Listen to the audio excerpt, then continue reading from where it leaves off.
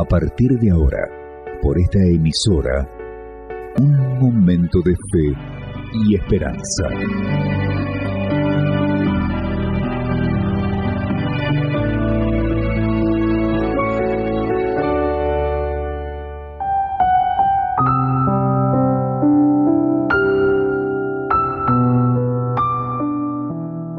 Olá, meus amigos, que Deus los bendiga a todos ustedes grandiosamente. Dijo Jesús: Bem-aventurados los pobres em espírito, porque de ellos es el reino de los cielos. Mateus capítulo 5, versículo 3.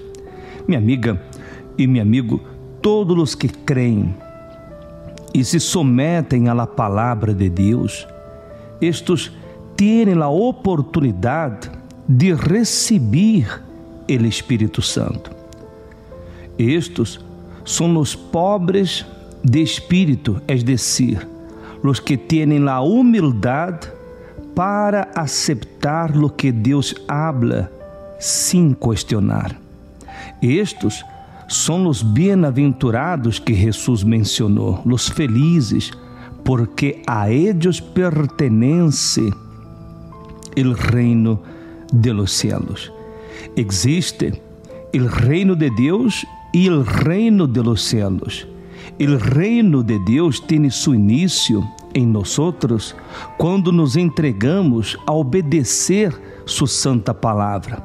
E nesse instante entramos ao reino de Deus, donde começamos a viver uma nova vida, em la qual o Senhor Jesus reinará sobre nós outros que somos sua igreja, la qual permanece rendida ao Senhor Jesus, servindo-lhe de todo coração.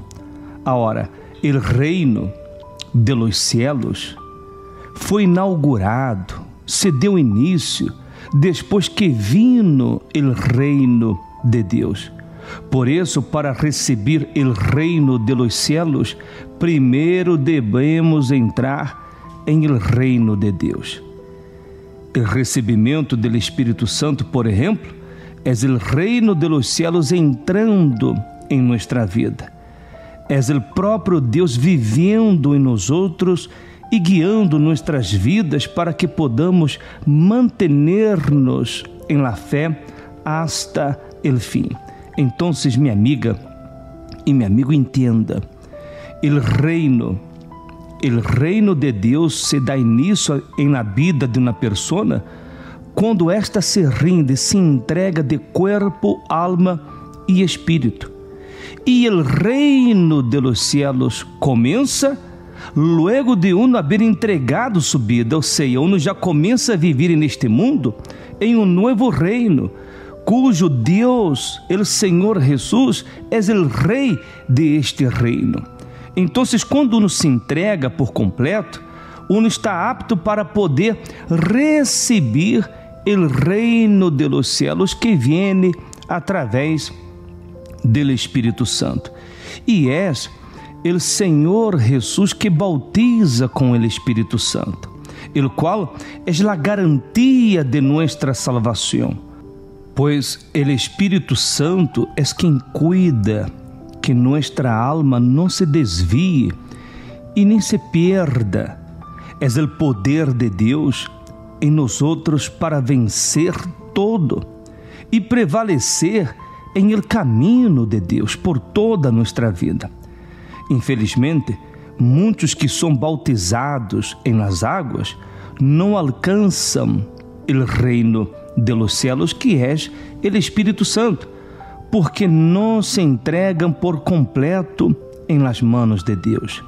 Pero felizes são os humildes, os sinceros, os que se entregam como uma ofrenda viva em el altar de Deus para servi-lo e agradar-lo, porque de ellos es el reino de los cielos. De ellos es la promessa del Espírito Santo, el qual vendrá sobre suas vidas para conduzi-los e torná-los fuentes de água viva en este mundo para a glória de Deus.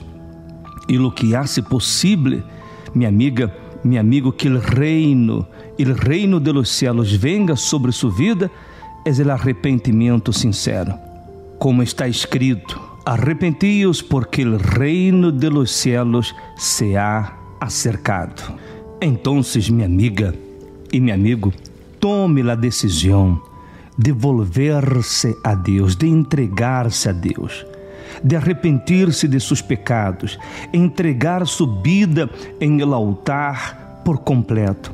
E uma vez que aconteça esta entrega, você começará a desfrutar de uma nova vida, de uma nova vida, porque você passará a viver em reino de Deus.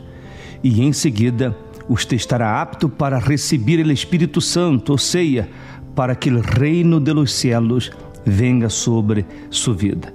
Acerque-se à Igreja Universal mais cercana a seu hogar e tenha um verdadeiro encontro com Deus.